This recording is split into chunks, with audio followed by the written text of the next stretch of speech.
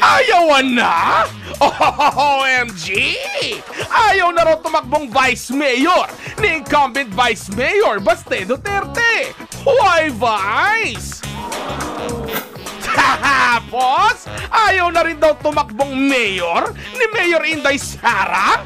Wow! Pero don't worry, sa substitute naman daw sa kanya, si Vice Baste for mayor. Ayun naman pala. Eh, si Mayor Inday kaya, sino ang isasab?